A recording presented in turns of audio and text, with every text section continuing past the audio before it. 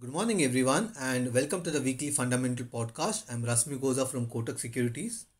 On the international markets, last week was quite negative for global markets as the MSCI World Index corrected by 3.4% and MSCI Emerging Markets corrected by 4.5%. The US markets were down around 3.3%, while most Asian markets were down around 4.2%. In Q4 of last year, US GDP increased by 1%, leading to a full year contraction of 3.5% for calendar year 20. It shows the recovery from the pandemic is losing steam as the US dollar 3 trillion relief in money gets exhausted. The Federal Reserve last week left its benchmark interest rates near zero and pledged to continue injecting money into the economy through bond purchases. Last week seemed quite strange and weird as we heard of some crazy moves in lesser known stocks in the US. GameStop, an unknown stock to Indian investors, became the talk of the town due to its rise from US dollar 19 on 31st December to US dollar 325 last week, a gain of nearly 17 times within a month.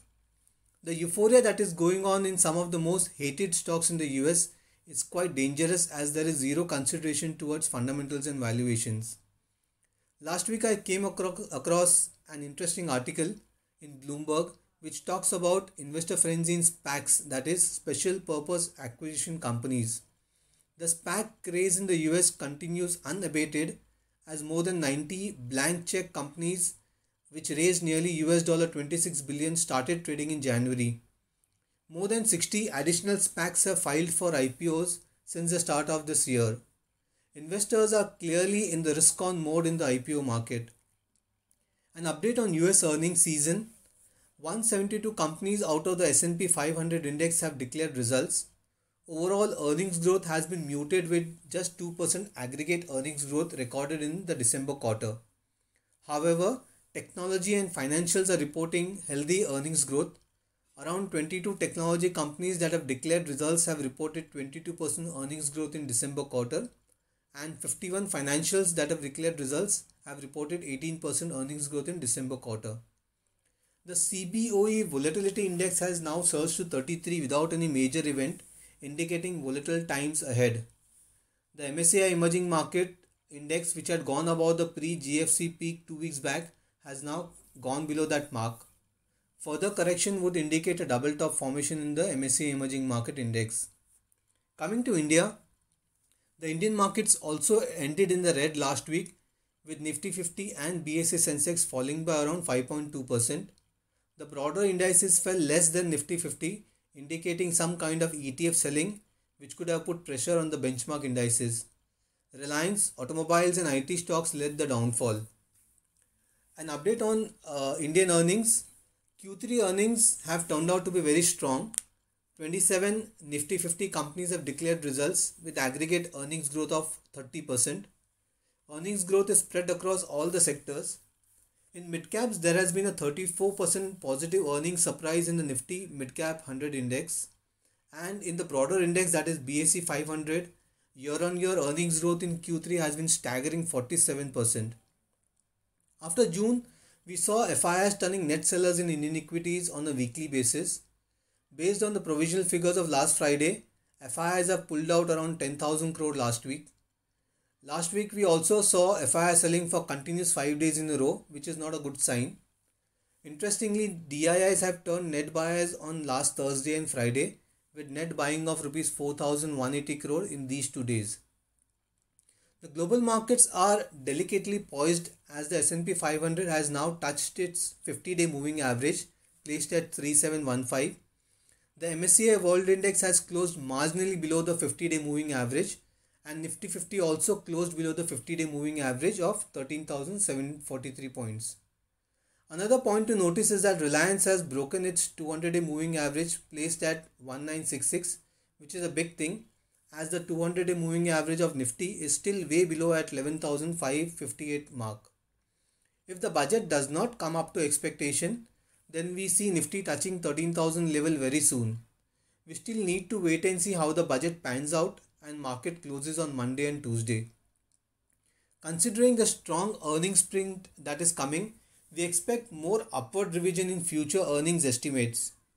From the lows of last year, ours and Bloomberg consensus estimates for FY21 esti- uh, 21 has gone up by 14% and that of FY22 has gone up by around 10%.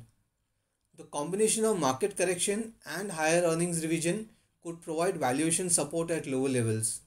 Hence, we are not expecting any major crash in Indian markets. A normal course correction should be good to remove the excesses we saw in the valuation recently.